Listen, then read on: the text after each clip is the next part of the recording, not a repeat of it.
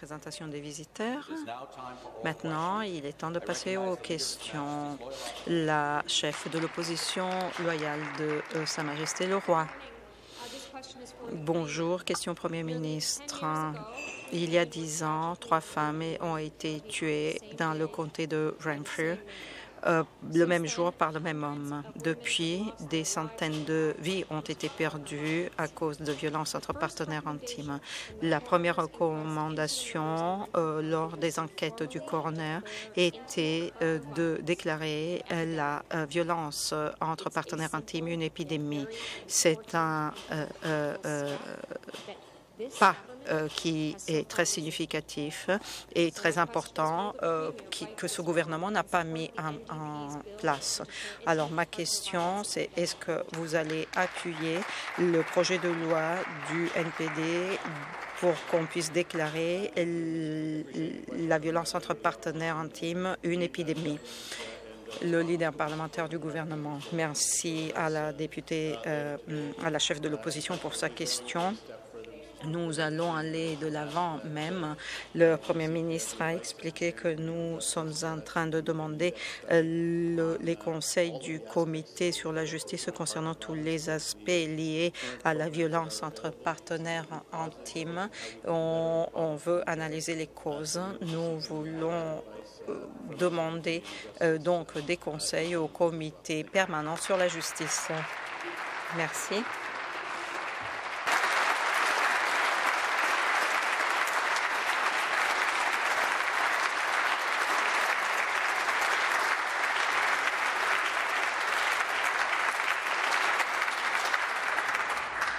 Supplementary question. Complémentaire. Hein. Et ce n'est pas souvent que nous faisons quelque chose comme ça, donc je souhaite remercier le gouvernement.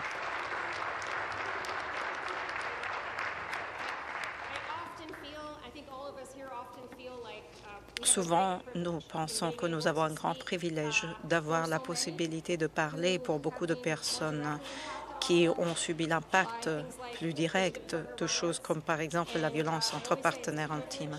Et je dis toujours que c'est un privilège, le fait que nous ayons le privilège de pouvoir défendre ces personnes. Et je souhaite remercier le gouvernement.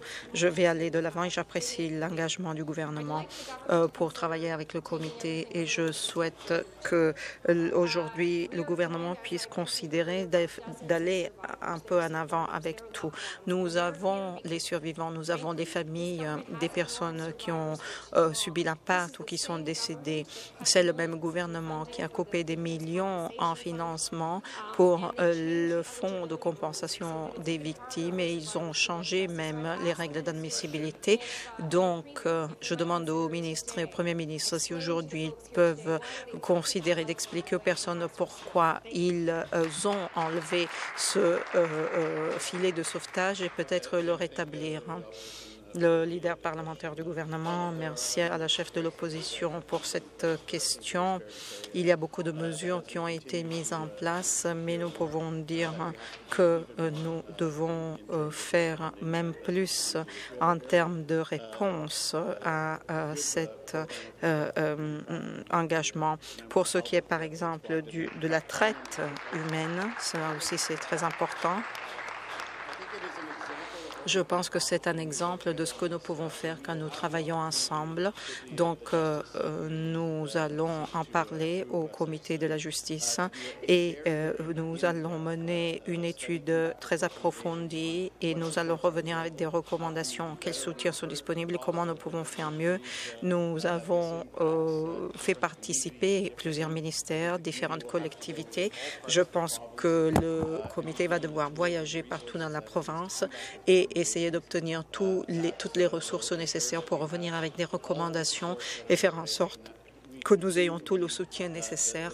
Nous avons euh, besoin de continuer à appuyer euh, notre province. Nous allons le faire. Nous allons travailler de manière rapide et agressive et euh, nous allons travailler sans cesse jusqu'à ce que nous aurons tout ce qui est nécessaire pour aller de l'avant. Question finale complémentaire. Merci et euh, bien que j'apprécie que le gouvernement ait accepté d'approuver le projet de loi euh, du NPD visant à déclarer euh, la violence entre partenaires intimes une pandémie, une je dois souligner l'urgence de la situation. Chaque fois que je travaille et où que j'aille dans cette province, j'ai le privilège de voir des organisations qui travaillent avec des survivants de violences entre partenaires intimes. Ils souffrent profondément. J'ai entendu que les agences, par exemple, qui travaillent pour lutter contre la violence entre partenaires intimes perdent des travailleurs parce qu'ils n'ont pas les fonds. C'est une situation urgente. Nous devons augmenter ce financement de base aujourd'hui. Je demande au gouvernement, ne poussons pas cela de l'avant vers un autre comité d'ici 10 ou, ou 12 ans. Essayons de le finaliser aujourd'hui ensemble. Merci beaucoup. De leader parlementaire du gouvernement. Je souhaite éviter aujourd'hui la tentation de parler euh, de tous les programmes et services que nous avons mis en place. Je pense que ce que nous entendons, c'est qu'il faut mettre en place des mesures ciblées pour ce type de problème. Nous avons euh, déjà établi l'exemple dans la province de l'Ontario pour combattre la traite, par exemple. Nous avons déjà mis en place beaucoup de mesures et il doit y avoir une meilleure coordination. Et je pense qu'un comité qui est appuyé par cette Assemblée, qui puisse voyager partout dans la province, qui puisse demander aux, aux témoins les informations nécessaires et qui est les capacités pour pouvoir mettre en place des mesures et de faire des enquêtes approfondies, puissent revenir avec des conseils et des lois que nous pouvons mettre en vigueur aussi rapidement que possible. Je suis d'accord. C'est un grand défi euh, face auquel nous nous trouvons aujourd'hui.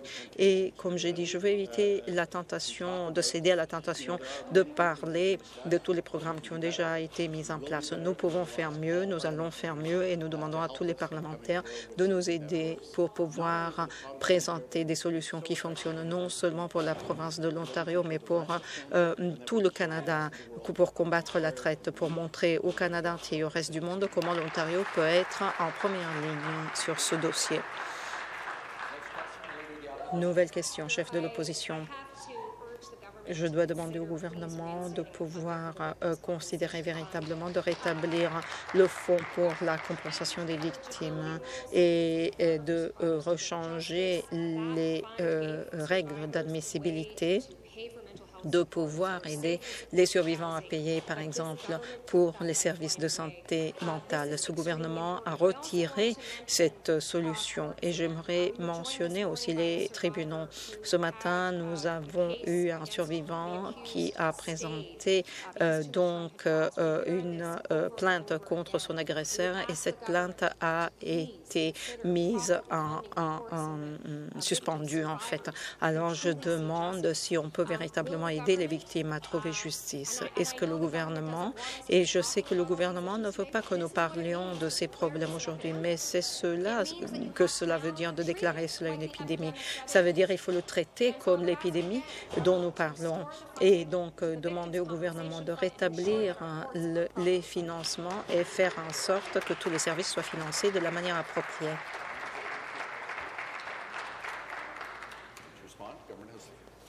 Leader parlementaire du gouvernement. Je sais que le procureur général fait en sorte que nous ayons les ressources appropriées. Et je vais être clair. Hein. Tout est sur la table. Nous voulons regarder tous les aspects possibles pour que nous puissions avoir une approche pour savoir comment nous gérons les défis face auxquels nous nous trouvons. Ça veut dire aussi des problèmes concernant le gouvernement fédéral, aussi inclure les euh, soutiens que nous avons en place, comment on peut gérer ces problèmes, quels sont euh, les problèmes des victimes, quels sont leurs défis, comment on peut répondre pour les aider à dépasser les obstacles. Nous allons autoriser, si le comité accepte ce défi, nous allons autoriser aussi tous les services et les ressources nécessaires pour que le comité puisse voyager dans toute la province, y compris dans d'autres provinces, pour pouvoir comprendre comment faire mieux, au mieux possible. Question complémentaire. Le rapport de Renfrew nous a donné 86 recommandations. 68 de ces recommandations sont de la juridiction, sont de compétences provinciales. Nous n'avons pas besoin d'une autre étude. Nous avons besoin d'action de la part de ce gouvernement. 68 recommandations 68, 30 femmes l'année dernière ont été tuées en 30 semaines. 58 femmes ont été tuées à cause de violences entre partenaires intimes. Il n'y a pas de besoin de faire plus d'études. Ils vous ont écrit la recette pour pouvoir arriver à la solution de ce problème. Est-ce que le gouvernement va mettre en place les 68 recommandations du rapport Renfrew?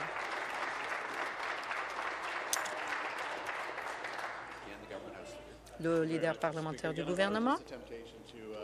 Je vais encore une fois ne pas céder à la tentation de parler de tout ce que nous sommes en train de faire pour pouvoir résoudre ces problèmes et mettre en place les recommandations je sais que le ministre et le procureur général ont travaillé très dur hein, pour pouvoir faire en sorte que nous ayons une approche euh, pas gouvernementale et euh, nous avons besoin euh, de pouvoir entendre ces, des, des, avis. Nous avons besoin d'entendre les experts pour répondre aux besoins des victimes. Je ne sais pas comment être plus clair. Tout est sur la table. Nous voulons euh, construire sur les programmes et services que nous avons déjà en place, mais nous voulons aussi travailler avec d'autres administrations pour savoir comment ils sont en train de faire, qu'est-ce qu'ils font. Et non seulement nous allons être un leader dans ce domaine, mais nous allons véritablement aller de l'avant. Question finale. Merci.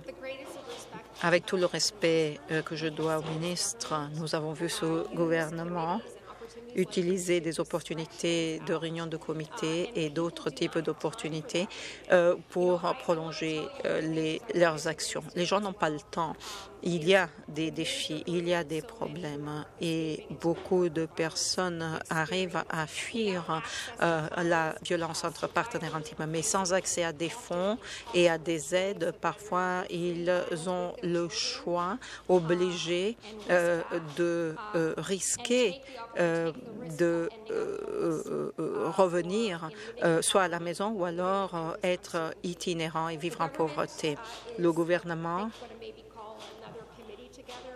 peut-être va rappeler un comité, mais je vais demander au gouvernement de pouvoir analyser véritablement les recommandations de l'enquête de Renfrew. Nous avons eu tellement de rapports pendant tellement d'années. Les traumatismes que les gens vivent est générationnel. Et alors, je demande aux personnes, considérez ce que les experts vous disent, que les gens en première ligne vous disent. Et s'il vous plaît, euh, n'arrêtez, ne continuez pas attendre. Acceptez et mettez en place les recommandations.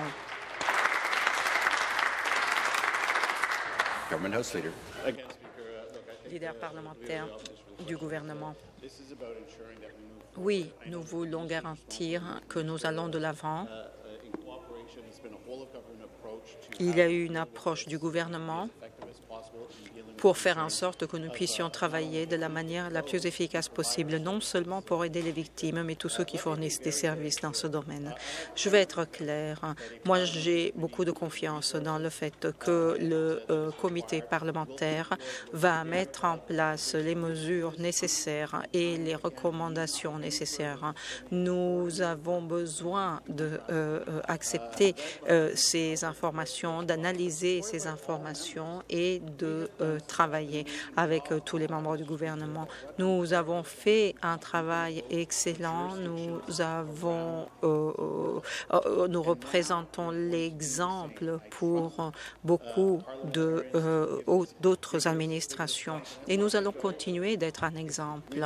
Si le comité est d'accord, nous allons partout dans la province et nous voulons aller partout au Canada, non seulement en Ontario. Nous voulons parler avec d'autres parties prenantes pour savoir comment nous pouvons travailler mieux et comment nous pouvons fournir de meilleures réponses aux victimes de violences entre partenaires intimes. Nouvelle question. Merci, Monsieur le Président. Je suis très déçu d'entendre le euh, leader parlementaire du gouvernement parler du euh, fait que euh, ce projet de loi doit aller en comité. Il y a deux ans, vous pouvez peut-être respecter les survivants et les parents qui ont perdu leurs enfants à cause de la violence entre partenaires intimes. Voilà ce que je veux dire. Cela fait deux ans déjà où il y a eu une enquête et un jury a dit que le gouvernement doit immédiatement déclarer la violence entre partenaires intimes une épidémie. Il y a eu d'autres recommandations qui sont sorties de cette enquête et pendant deux ans, ce gouvernement n'a rien fait. Alors, les gens de ce côté de la Chambre et les gens qui sont dans la tribune aujourd'hui ne veulent pas que vous attendiez encore. Alors j'apprécie que le gouvernement dise qu'ils vont appuyer le projet de loi 173 et déclarer la violence entre partenaires intimes une épidémie. Mais ce que je demande, ce n'est pas pour moi, c'est pour les gens qui sont dans la tribune. Mais je vous demande de ne pas attendre encore une autre étude parce que cette enquête vous dit déjà ce qu'il faut faire. Appuyer cette loi aujourd'hui, appuyer la troisième lecture ayez la sanction royale et donnez à ces personnes la dignité et le respect qu'ils méritent pour tout ce qu'ils ont vécu. Veuillez vous asseoir, s'il vous plaît. Et je rappelle à tous les députés de faire passer leurs commentaires à travers la présidence. Le leader parlementaire du gouvernement pour sa réponse. Merci, Monsieur le Président. Encore une fois, il y a eu beaucoup de ressources qui ont été mises en place pour gérer ces difficultés, ces défis. Les ministres ont travaillé euh, euh, dur pour pouvoir améliorer le système. Nous savons qu'il y a plus à faire et c'est pourquoi aujourd'hui nous voulons euh, mettre en place des mesures et nous voulons demander le conseil du comité parlementaire pour qu'il puisse nous faire comprendre mieux quels soutiens sont nécessaires. Nous l'avons entendu euh, souvent euh, de tous les députés de cette Chambre. Il y a des suggestions et nous pouvons apprendre de beaucoup de personnes. C'est ce que ce comité va faire. Je suis déçue que l'opposition ne euh, soit frustrée par cela, mais je suis très encouragée par le travail du comité parlementaire de ce qu'un comité qui travaille bien peut faire. Nous allons construire sur les bases qui existent déjà pour aider les Ontariens.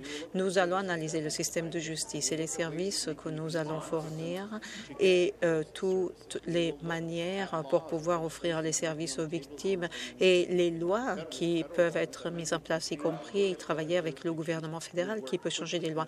Nous allons travailler avec d'autres provinces rapidement et de manière efficace et nous allons voyager non seulement dans la province, mais partout où c'est nécessaire pour faire en sorte que les personnes qui sont victimes et celles qui offrent des services puissent offrir les soins et les ressources nécessaires pour faire face. Question complémentaire. Alors, encore une fois, je vais rappeler aux leaders parlementaires que vous avez eu deux ans pour agir sur cette recommandation parmi d'autres. Et vous avez tout rejeté. Tout rejeté.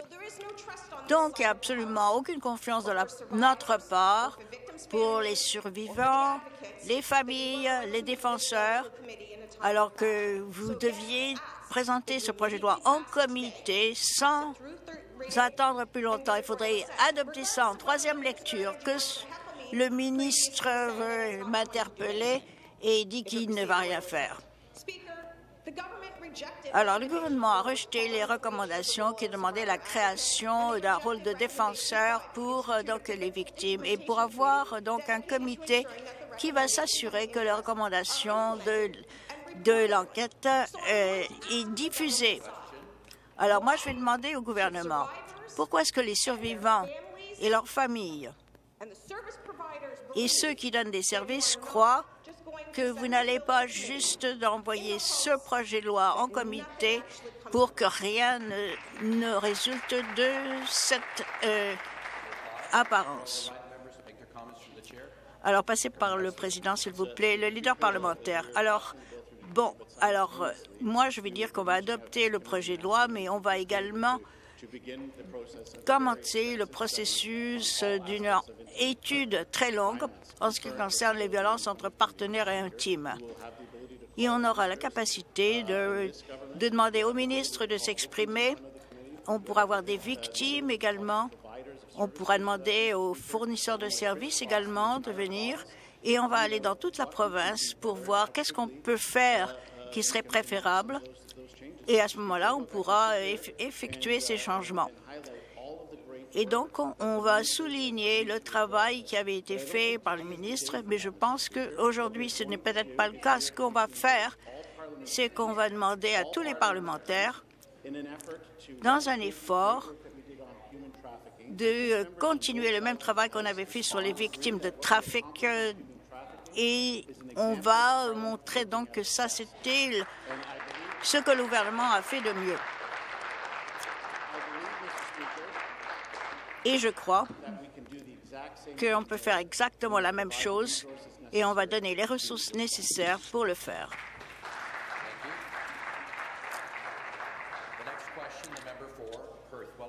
Le député de Perth-Wellington. Merci.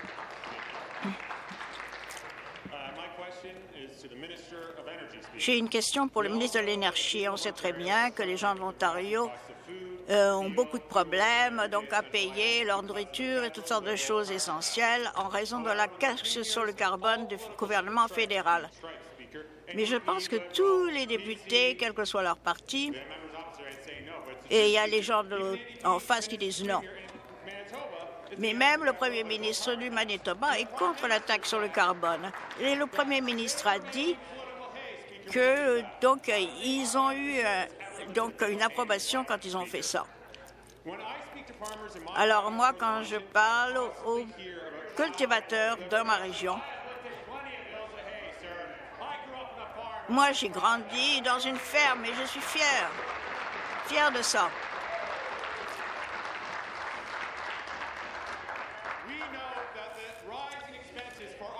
On sait que toutes les dépenses qui continuent à augmenter, cela rend donc les choses très difficiles pour tous les gens d'Ontario. Et le gouvernement doit agir maintenant et se débarrasser de cette taxe régressive. Est-ce que le ministre pourrait expliquer comment la taxe sur le carbone fait augmenter les prix de toutes les choses dans la province?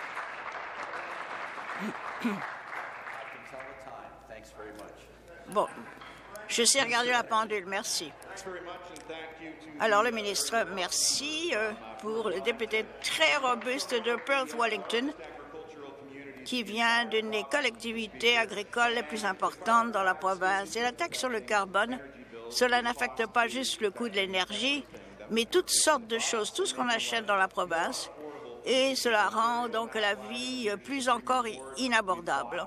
C'est la raison pour laquelle on se dé défend contre le projet de loi à la taxe sur le carbone depuis 2018.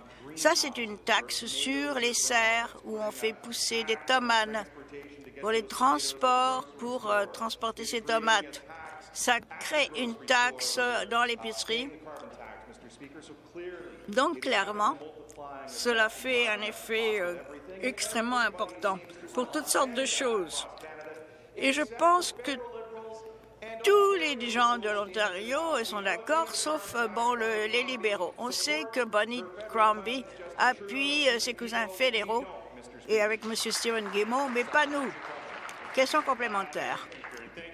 Alors, merci euh, au ministre pour cette réponse. Alors, la semaine dernière, les producteurs de grains avaient donc déterminé qu'ils devraient payer 2 millions de plus. Là, on a également d'autres montants d'argent qui devront être dépensés. Et ça, c'est plus que trois fois le coût actuel de ce qui est dépensé pour chaque acre dans la province. Les agriculteurs ont besoin de notre appui. C'est la raison pour laquelle nous essayons de nous battre contre cette taxe sur le carbone de toutes les façons. Mais la reine de la taxe sur le carbone, Bonne Crombie, n'a jamais vu une taxe qu'elle n'aimait pas. Et donc les libéraux ici refusent de s'élever contre cette taxe sur le carbone. Est-ce que le ministre pourrait dire aux familles pourquoi est-ce qu'on ne peut pas se permettre de payer cette taxe sur le carbone que Bonnie Crombie aime autant? Alors, euh, le ministre de l'Agriculture avait eu euh, une réunion avec différentes organisations agricoles, y compris les producteurs de grains, pour parler donc euh, des résultats de la taxe sur le carbone. Et ça, ça fait augmenter les coûts, mais cela décourage la, diminution des émissions dans la province parce que beaucoup d'agriculteurs voudraient avoir accès au gaz naturel pour euh, ne pas utiliser donc euh, des carburants plus polluants. Et là, on veut qu'il y ait une taxe sur le carbone pour tout. Et ils veulent augmenter ou tripler la taxe sur le carbone. C'est quelque chose de ridicule. Donc ça, tout ça, ce sera plus cher. Et en même temps, le NPD dans cette Chambre sont opposés au projet de loi 165 qui va rendre impossible d'apporter donc le gaz naturel pour les agriculteurs avec des carburants qui pollueront moins. Alors, il n'y a qu'un seul parti à qui on peut faire confiance, c'est le premier ministre Doug Ford, son ministre de l'Énergie, qui essaye de rendre les choses moins coûteuses pour les gens de l'Ontario. Le député Nickelbell. Premier ministre. La violence commise par des partenaires intimes est malheureusement très présente dans le nord de l'Ontario. Le gouvernement a fermé la station de police provinciale de l'Ontario à Gogama et à Folliette. Les longs délais lors des appels à l'aide mettent les survivantes en grand danger. Je suis heureuse que le gouvernement va appuyer le projet de loi du néo-démocrate et déclarer la violence commise par des partenaires intimes une épidémie. Mais est-ce que le gouvernement peut nous assurer qu'on aura des solutions mises en place dans les plus brefs délais pour aider les communautés francophones et les communautés du nord de l'Ontario.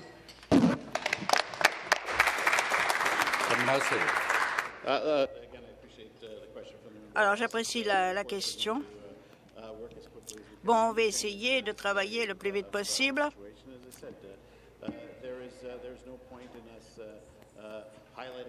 C'est pas besoin donc de souligner tout ce qu'on a déjà fait. Je pense qu'il y a des choses donc, dont on peut être très fier, mais il faudrait en faire plus. Parce qu'il faudrait que l'on travaille plus à la façon dont ça va avoir des effets sur le nord de l'Ontario et d'autres collectivités.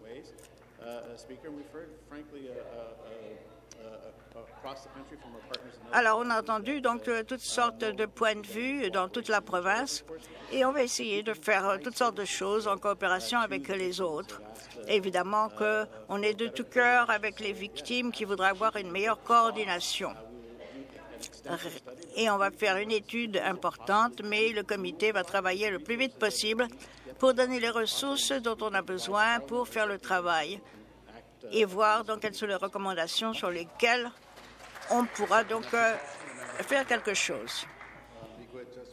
Miigwech.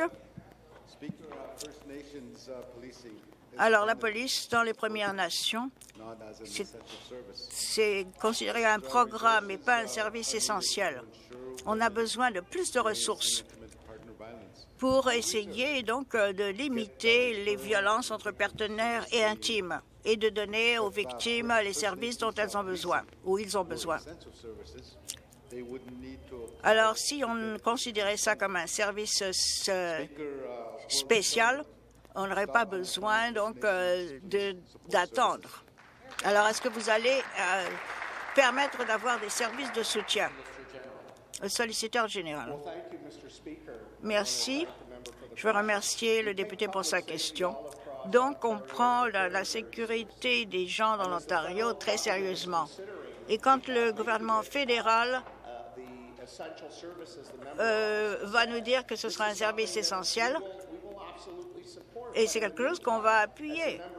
Mais comme le député le sait, que dans la loi sur les services policiers qui a été euh, adoptée juste la semaine dernière, les collectivités ont l'occasion donc de faire partie du programme. Mais on va s'assurer qu'on va avoir les programmes pour les collectivités. Et moi, je prends cette responsabilité très au sérieux. Et moi, je prends tout ce qui concerne cette euh, question très au sérieux.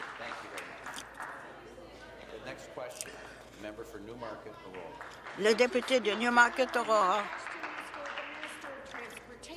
J'ai une question pour le ministre des Transports. La taxe sur le carbone qui fait du tort à notre économie et nos entreprises. Quand j'ai parlé à toutes sortes de familles, à des propriétaires d'entreprises, alors dans ma grande circonscription de, de Newmarket-Aurora, les gens disaient que les libéraux fédéraux ne comprenaient pas la situation. Ils sont vraiment inquiets parce qu'ils ne savent pas comment le gouvernement libéral va augmenter le coût de la vie en augmentant la taxe sur le carbone encore une fois. Alors les gens ont déjà bien du mal avec toutes les dépenses et la dernière chose dont ils ont besoin, c'est une autre augmentation de taxes. Et pas du tout comme les libéraux indépendants ou le gouvernement ou le parti NPD.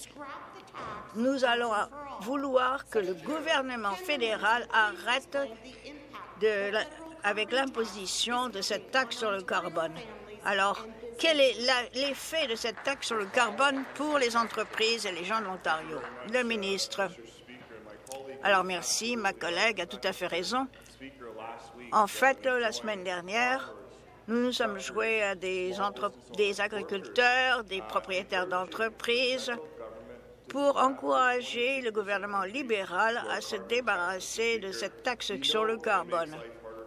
Alors on sait que ça rend les choses plus difficiles pour les entreprises et les gens de la province. Et quand les familles et les entreprises ont du mal, le gouvernement fédéral continue à vouloir imposer une taxe sur le carbone. Mais ce qui est le plus surprenant, c'est que Bonnie Crombie et les libéraux provinciaux ne veulent pas demander au gouvernement général d'arrêter d'imposer cette taxe sur le carbone.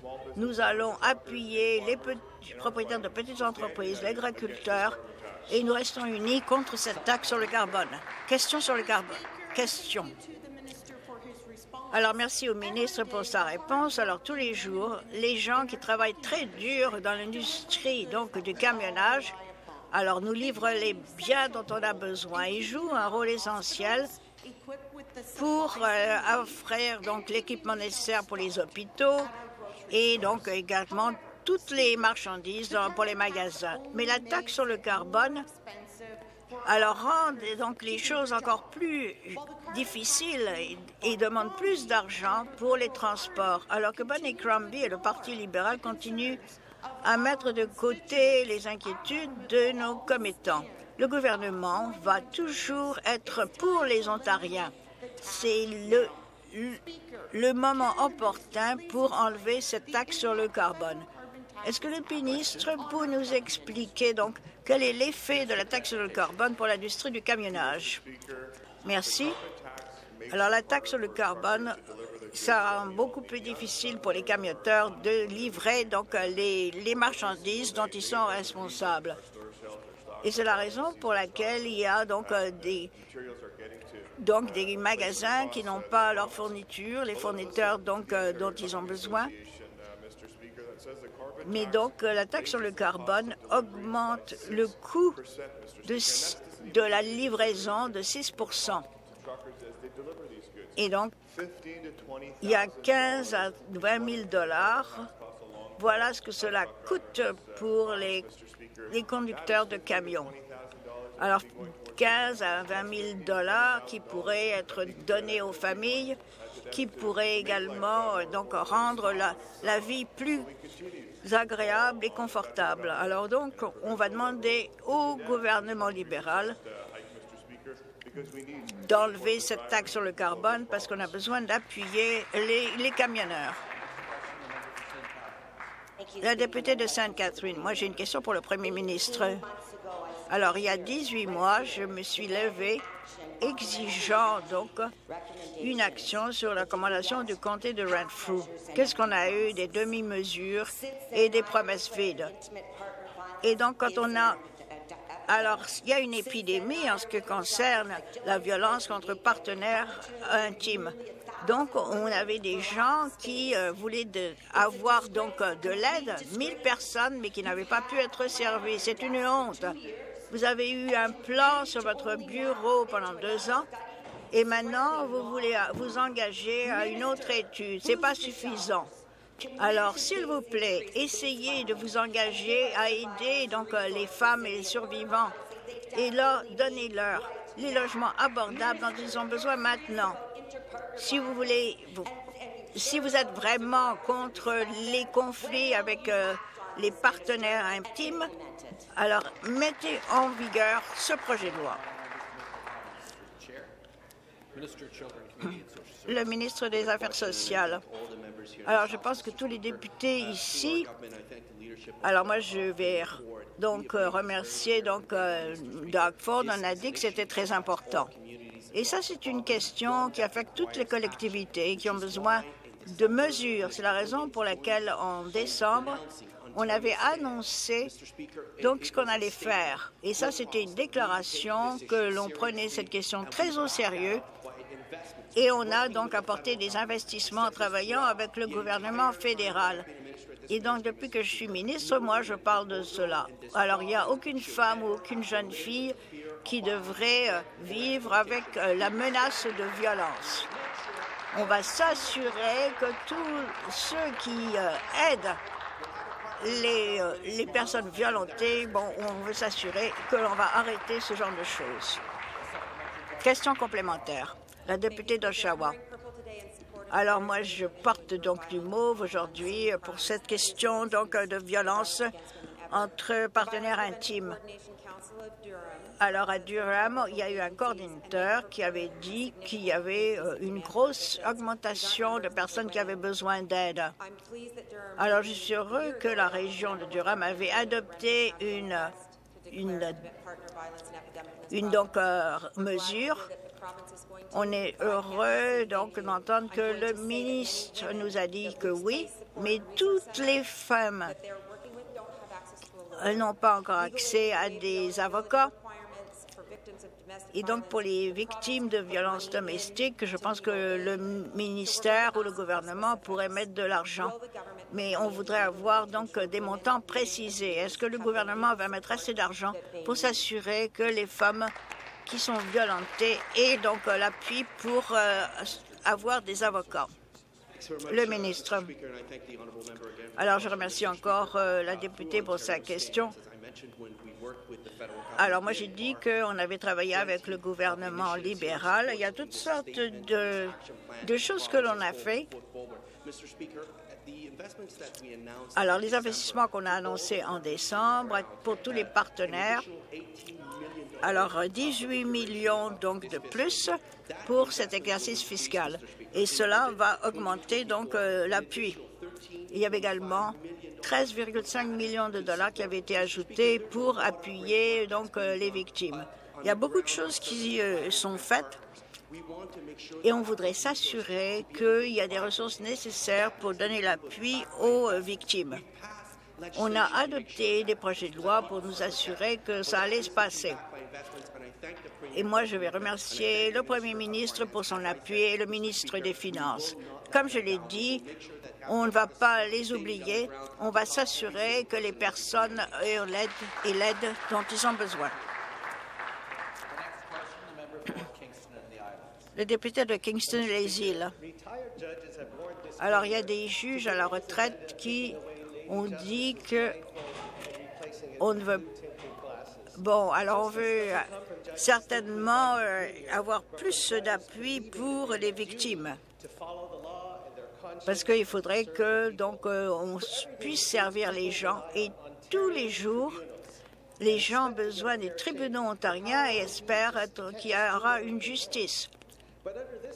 Mais avec ce gouvernement, euh, des juges euh, n'ont pas été remplacés et donc il y a énormément de vacances. On a perdu, par exemple, 35 euh, donc des juges. Le ministre va-t-il se rendre compte qu'on a absolument besoin de plus d'argent pour les tribunaux? Le procureur général. Alors, non seulement les tribunaux sont indépendants, et également le processus euh, d'acceptation des juges. Alors, nous avons donc des juges qui existent en Ontario, mais certainement dans les 15 tribunaux alors euh, ne sont pas respectés par le député d'en face. Alors il y a des gens qui sont des professionnels qui font vraiment euh, des, qui prennent des décisions qui sont tout à, fait, justes. Et je pense que les députés, c'est dommage qu'ils ne veulent pas célébrer cela avec nous. Question complémentaire. Le député de Kingston et les îles. Alors, le procureur général parle du nombre important donc, de juges, mais voilà euh, ce qu'il est en vrai. Alors, on a perdu un tiers des juges et l'année dernière, on était passé donc de cas en retard de 1400 à 35 000. Alors donc ça c'est quelque chose qu'ils ont créé. Alors certainement les choses ne se sont pas améliorées. Gros problème.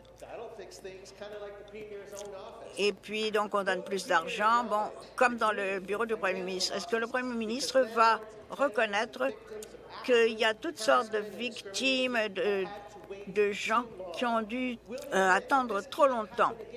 Est-ce que vous allez admettre qu'il ne faut absolument pas que les choses se reproduisent? Alors, est-ce que vous allez euh, réduire les arriérés dans le domaine donc, des tribunaux? Le procureur général. Alors, bon, je vais peut-être euh, dire ce qui s'est passé récemment. Il y a, alors, il y a plus de juges donc, qui ont été embauchés alors, on a maintenant des juges dans 13 des 15 circonscriptions. On va mettre des ressources pour donc toutes sortes d'officiers, mais bon, les libéraux n'ont rien fait et nous, nous essayons de résoudre le problème. Prochaine question. Le député de Hastings, Hastings et Eddington. J'ai une question pour le ministre des Richesses naturelles et des Forêts. La semaine dernière, quand j'étais dans ma circonscription, j'ai entendu tellement de mes commettants qui disent que donc, la taxe sur le carbone crée beaucoup de problèmes.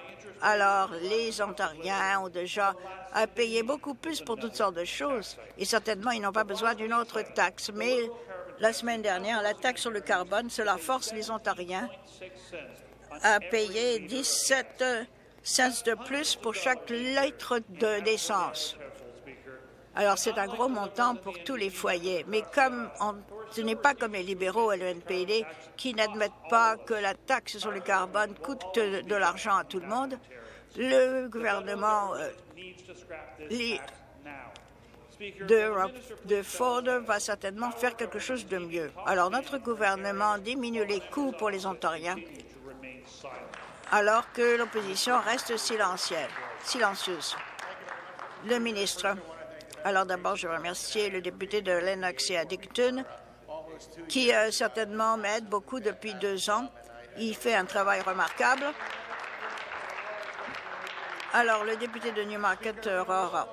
Alors, on sait très bien que quand on va travailler tous les gens, bon, on paye la taxe sur le carbone, quand vous conduisez, mais on paye également cette taxe quand on, ne conduit plus. Alors, on a donc un groupe qui pense qu'il faudrait avoir euh, quelque chose de, mieux pour donc les motocyclettes. Chaque fois qu'on veut aller euh, donc à l'extérieur, on a, on a donc euh, on a une, une automobile, une snowmobile c'est comme si le, gouvernement fédéral ne veut pas que les gens puissent profiter donc de l'extérieur.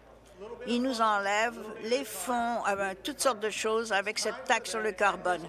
Il faudrait arrêter donc euh, cette taxe sur le carbone et permettre aux gens de profiter donc du grand air, du plein air. Question complémentaire.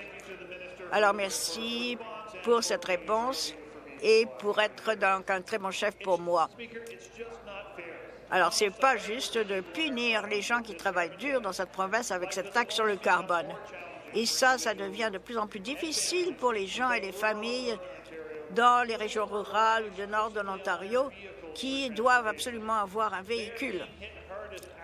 Alors donc, ils doivent payer plus pour euh, l'essence et également pour euh, l'alimentation. Et donc, Bonnie Crombie, la, la reine de la taxe sur le carbone, veut continuer à augmenter le coût de l'essence. Alors, c'est comme les libéraux, euh, les qui veulent toujours ajouter de nouveaux frais pour les gens de l'Ontario. Et ils adorent toutes les taxes. Qu'est-ce que le gouvernement va faire pour que la vie soit plus abordable pour les gens euh, qui sont dans le Nord et l'Ontario rural? Le ministre, ce qu'on fait, c'est exactement ce que les libéraux ne font pas. C'est-à-dire qu'on appuie les gens de l'Ontario tous les jours. On les appuie avec euh, les, donc les actions du premier ministre. On réduit le, coût de l'essence pour que les gens puissent donc se lever tôt le matin, aller conduire leurs enfants à l'école. Évidemment qu'ils vont mettre de l'essence, ils vont aller à l'épicerie, ils vont payer également dans cette taxe sur le carbone. Vous allez travailler, vous allez rentrer chez vous. Donc, euh, venir avec les enfants, encore une fois, ils veulent se distraire un petit peu, peut-être euh, emmener les enfants euh, patiner mais on a toujours à payer la taxe sur le carbone. Alors donc, ça, devrait absolument disparaître. Alors, ce n'est pas vraiment le, mauvais moment pour faire quelque chose. Alors, débarrassons-nous de cette taxe sur le carbone. Alors, nos collègues d'en face savent que ce n'est pas du tout la bonne taxe sur, pour la province. Le député d'Ottawa Centre. Merci. J'ai une question pour le premier ministre. Anne-Marie Jasmine et Reddy ont été tués chez eux par un jeune homme qui avait donc euh, été plusieurs fois condamné euh, pour violence. Et donc, le, le père a voulu essayer de, arrêter la violence contre les femmes. Il voudrait donc que l'on euh, adopte 32 et 33 pour essayer de se débarrasser de ces actes de violence contre les femmes. Est-ce que le gouvernement s'est engagé à mettre en vigueur ces recommandations? OK. La ministre. Je vais remercier le député pour sa question. Et moi, je vais donc féliciter euh, le député pour son travail et donc en, espérant que ces tragédies n'ont pas donc euh, été en vain. Alors donc une femme ne devrait pas être une victime de violence, ne devrait pas avoir peur d'intimidation et de violence. C'est la raison pour laquelle nous allons mettre des stratégies en place pour que l'on ait donc des organisations dans les collectivités. Alors, moi, j'aimerais que les gens regardent ce que fait l'Ontario. Alors, pour le ministre responsable des services sociaux, on, a dit qu'on voudrait entendre donc euh, les points de vue des gens de l'Ontario. Alors, il faudrait donc financer euh, tout, tout ce qui pourrait permettre aux femmes de ne pas être des victimes de violence. Alors, s'il vous plaît, toute femme a le droit de ne pas être violentée. Député de Niagara Falls. Question pour le Premier ministre. L'année dernière, une femme de Niagara, euh, première intervenante, a été assassinée dans ce que la police a appelé acte de violence entre partenaires intimes. La famille a été dévastée et ont dû naviguer un système brisé et difficile pour obtenir justice pour leurs proches, qui a été enlevé de ce monde si froidement? Ces réalités difficiles pour la famille nous rappellent que ce type de violence est bien trop courante. Près de 800 municipalités ont déclaré que la violence entre partenaires intimes est une épidémie, dont à Niagara. Le gouvernement fait la bonne chose en appuyant euh, l'appui pour, pour l'appui contre les violences aux partenaires intimes. Les recherches sont claires. Une épidémie a été déclarée. Ministre euh, services sociaux. Je remercie l'honorable député pour sa question. Comme le gouvernement l'a indiqué, nous cherchons à faire adopter cette loi et aller plus loin pour s'assurer que tous les députés du comité ont l'occasion de pouvoir contribuer à la solution. Tous les partenaires qui font un travail remarquable sur le terrain contribuent également.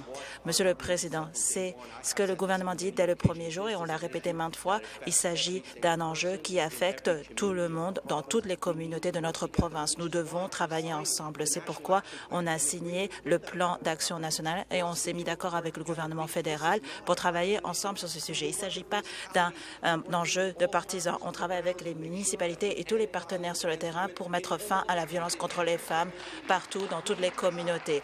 On a besoin de votre aide. On doit collaborer ensemble. On doit travailler avec les communautés pour aider les survivants et survivantes. On entend les partenaires communautaires. On a on investit des centaines de millions de dollars chaque année, plus de 10 millions de dollars pour des mesures préventatives. Merci. Prochaine question. Député de Canada Carlton. Merci, Monsieur le Président.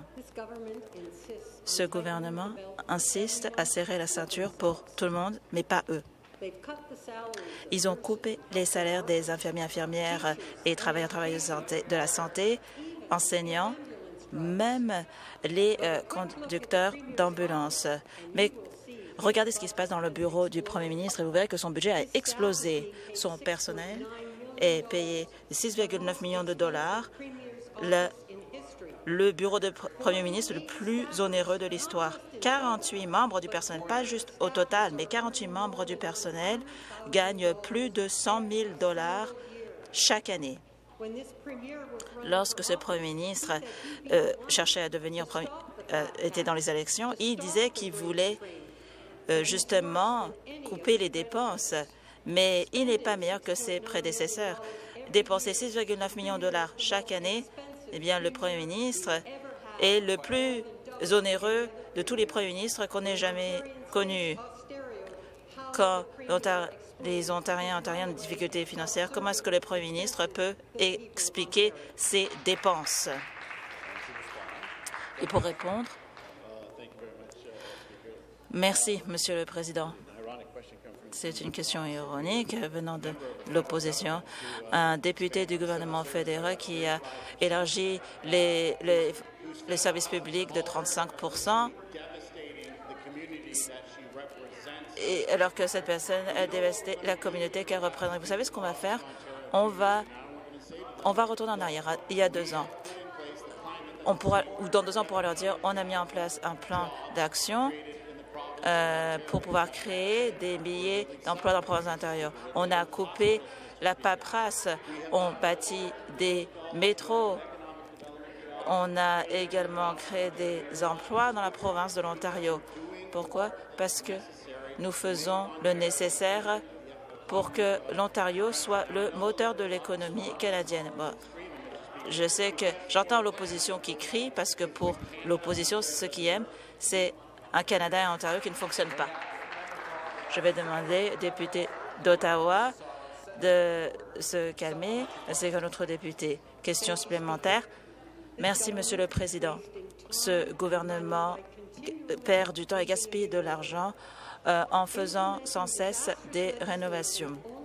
Mettre en place des législations dévastatrices pour les abroger plus tard, la ceinture verte, les délimitations urbaines, projet de loi 124 et maintenant les frais de développement. Bon, Maintenant, ce n'est pas une mauvaise chose d'inverser une mauvaise décision, mais il faut apprendre de ces erreurs plutôt que de continuer à suivre une idéologie inintelligible. Mesurer deux fois, couper une fois, ça c'est le conseil de mon père. Pourquoi est-ce que le Premier ministre est d'accord euh, pour euh,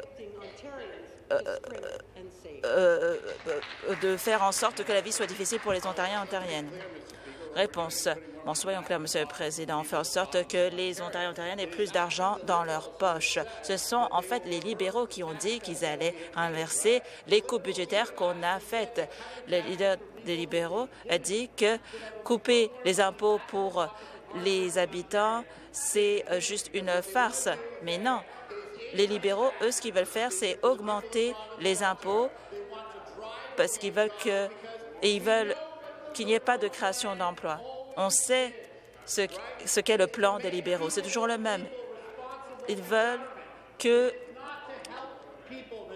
les, euh, que les gens se fient exclusivement au gouvernement.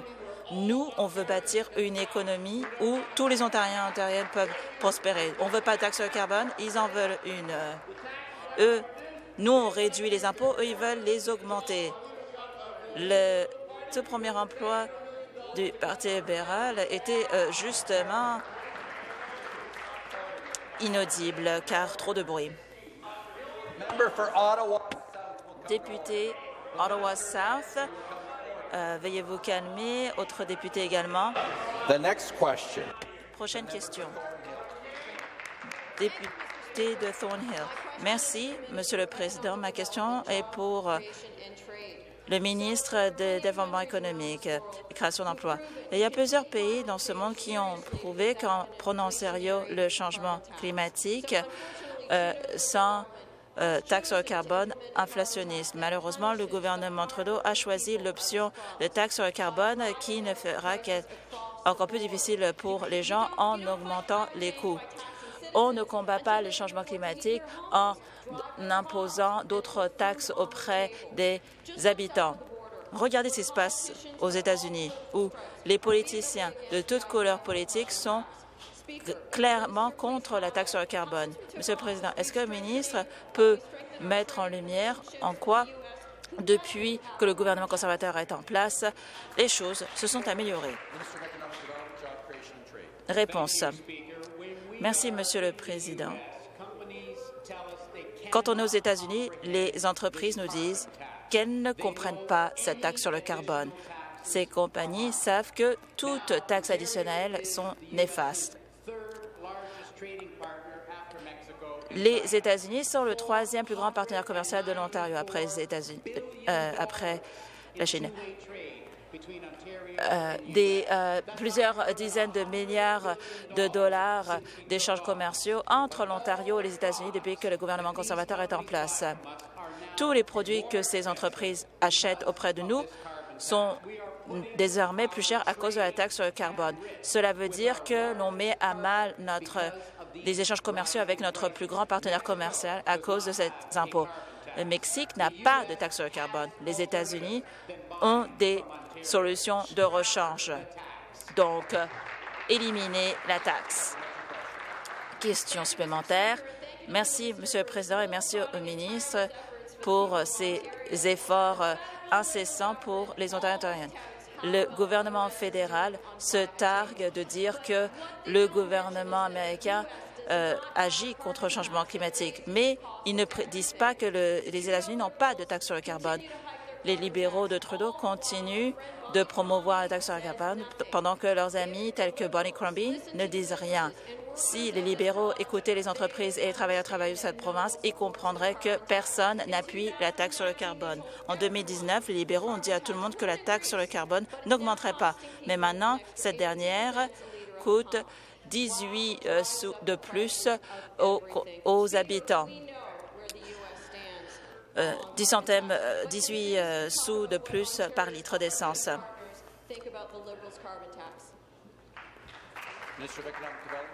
Réponse. Monsieur le Président, les entreprises nous demandent sans cesse de leur expliquer la taxe sur le carbone du gouvernement fédéral. Et c'est une réponse difficile parce que un emploi sur cinq en Ontario dépend des échanges commerciaux. L'Ontario a un marché sans euh, douane dans plusieurs dizaines de marchés partout dans le monde. Ajouter une taxe irait à l'encontre de ce que nous promouvons. La taxe sur le carbone met à mal les ventes des entreprises, met à mal notre économie, met à mal les emplois en Ontario. En Ontario, on a baissé les taxes et les impôts. On montre aux libéraux qu'il y a une voie. Éliminer la taxe aujourd'hui. Prochaine question, député de Waterloo. Merci beaucoup, Monsieur le Président. Question pour le Premier ministre. Je veux reconnaître qu'il s'agit d'une journée émotionnelle pour nous, notamment les survivants et survivants qui sont ici avec nous aujourd'hui. Nathalie Anderson de Whitby, Angie Smithy de Sault Ste. Mary, Argentina Forentes de Mississauga ont perdu leur vie à cause de la violence entre partenaires intimes leurs familles n'ont pas besoin de connaître un autre traumatisme via travail comité. On doit répondre aux problèmes de violence entre partenaires intimes. Euh, les, les, fonds, plutôt un manque de fonds, sont les fonds sont nécessaires. La pauvreté fait que les femmes et les enfants se retrouvent dans des situations non sécuritaires. Et sans avoir accès à des fonds d'appui, les survivants et survivantes euh, vivent avec la menace permanente de mort et d'incertitude. C'est pourquoi il est urgent, plus que jamais, d'appuyer des solutions de logement. Pourquoi il n'y a pas eu de financement dédié pour les logements dédiés aux survivants et survivantes de violences entre partenaires intimes.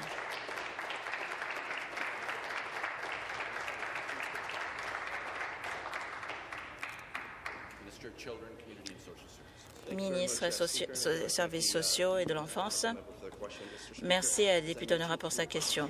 Comme je l'ai dit, nous avons une proposition en place où chaque communauté peut soumettre des propositions d'appui durant le plan d'action national. On en est déjà dans la deuxième année de ce plan. Comme je l'ai dit, il existe des solutions localisées. Les partenaires communautaires euh, ne sont pas forcément au courant. On veut entendre les idées et les soumissions des partenaires sur le terrain pour qu'on puisse les appuyer. C'est pourquoi il y a un appel de proposition. On a investi avec nos partenaires communautaires et on veut travailler avec eux pour des appuis localisés, appuis dans les communautés rurales et du Nord qui peut-être sont différentes du centre-ville Toronto. On veut entendre euh, les voix des partenaires sur le terrain pour nous assurer de combattre la violence entre partenaires intimes euh, dans tous les recoins de cette province. Cela conclut la période des questions pour aujourd'hui.